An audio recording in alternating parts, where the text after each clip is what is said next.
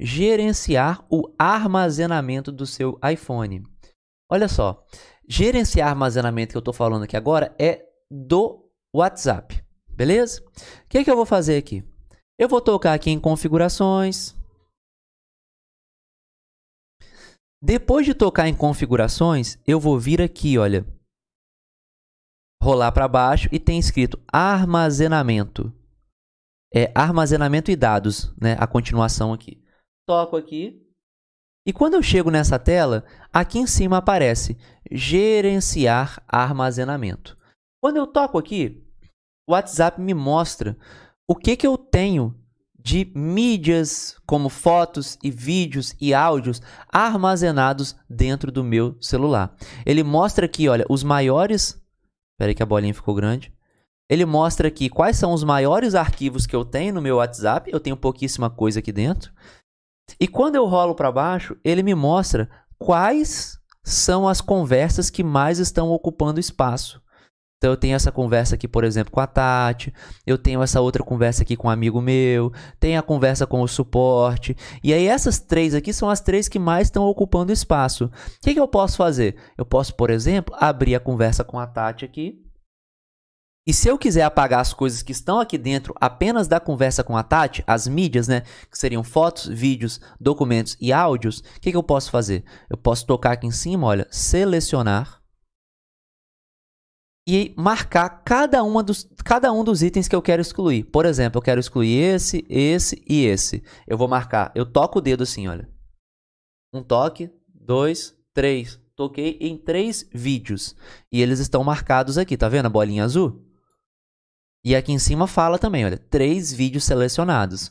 Sempre leia aqui em cima para quê? Para você ter a certeza que você selecionou apenas três, que você selecionou apenas o que você queria. Depois de fazer isso, o que, que você pode fazer? Você pode favoritar para facilitar o, na hora de encontrar. Você pode vir aqui favoritar, mas o objetivo aqui não é favoritar. O objetivo aqui, olha, é excluir. É tocar nessa lixeira aqui. Ó, os itens serão apagados dos seus arquivos de mídia do WhatsApp, mas podem permanecer salvos na galeria de fotos do seu aparelho. Então, por aqui, esses itens vão continuar salvos na memória do meu aparelho. Então, beleza. Eu venho e apago aqui.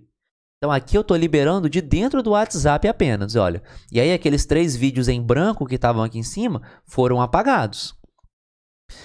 Se por acaso você quiser apagar tudo que tem na conversa aqui com essa pessoa, que no caso é a Tati do suporte, você pode tocar o dedo em selecionar. E depois você pode vir aqui, olha, em selecionar todos. Depois de selecionar todos, você vem na lixeira e aí você confirma aqui, olha, apagar todos os itens e eles serão apagados. Beleza? Então, se você quiser apagar todos, você pode apagar por aqui também. Lembrando que aqui você pode optar por apagar, que, que quando você apaga dessa maneira aqui, elas ficam lá na sua galeria ainda, tá? Desse jeito aqui, quando você vai apagando uma por uma, ela continua na sua galeria, beleza? E é uma coisa legal de você fazer caso a memória do seu WhatsApp esteja cheia, caso é, o seu WhatsApp esteja ficando lento, começando a travar. Às vezes o seu celular está funcionando bem, mas o WhatsApp começa a ficar lento. E aí você pode vir aqui dentro e apagar essas coisas que estão aqui na memória do WhatsApp. Beleza?